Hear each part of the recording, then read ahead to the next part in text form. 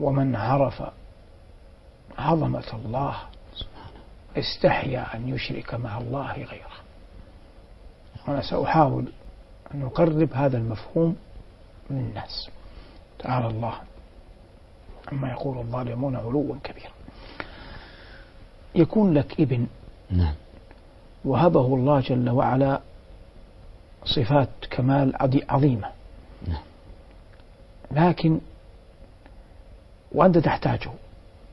ثم قررت أن تسافر. نعم. وأرجو أن يفقه هذا المثال. إذا قررت تسافر تقول أنا الآن هذا الإبن أعرف أنه يسد. نعم. لكن هل أجعله عند أهلي؟ أم أخذه معي؟ فإذا أخذته معك نفعك. نعم. وبعون الله أغناك. نعم. لكن أين صار النقص؟ في الأهل. في الأهل. أصبحوا بدون هذا الابن نعم. وإن أبقيته سد عنك نعم. أهلك حاجة أهلك لكن نعم. بقيت حاجتك أنت ناقص نعم. فالابن هذا كمثال نعم. قسها في أي شخص سد شيئا لكن لا يستطيع أن يعني أن يقوم بالأمرين معا نعم. واضح؟ نعم.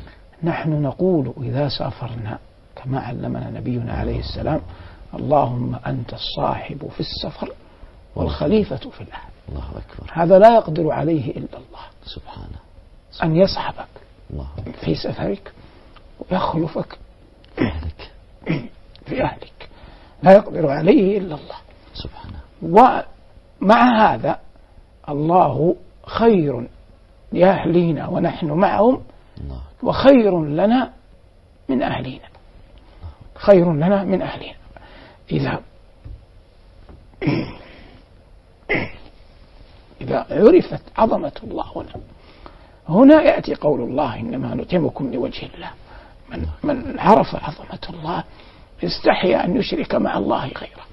استحيا يوما أن يقف في صلاة أو يريد أن يزكي يتصدق يعطي يمنع أن يجعل مع الله جل وعلا ندا. لما؟ لأن النقص الذي كنا وجدناه قبل قليل في المخلوقين منتف كمال النفي عن الله جل وعلا.